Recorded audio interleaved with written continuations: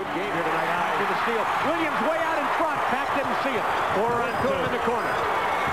For three, Jalen Rose. Not even close. And Jalen calls for it back again. Is that confidence or arrogance? Here's Pack on the drive. Pass Shaquille